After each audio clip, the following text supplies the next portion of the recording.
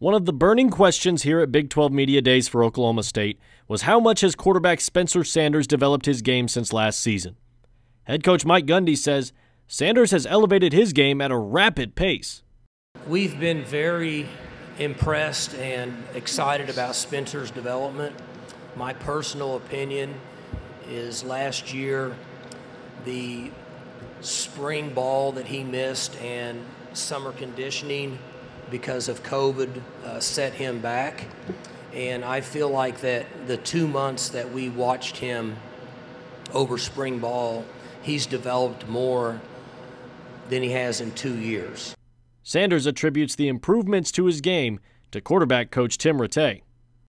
I've came a long way with Coach Rattay over this offseason. I, I, I mean, I'm a firm believer in that too. I mean, he's helped me progress phenomenally, and I can't do nothing but thank him. So, you know, we're, we're going to see, and, and I'm, I'm excited for the season.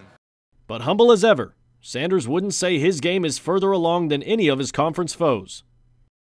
Um, I mean, this is the Big 12. I mean, we like to air it out, so I believe like we, have got some dominant quarterbacks. So I mean, I don't know where I stand with them, and I'm not going to give a rank out there because I'm not trying to throw no shot at nobody.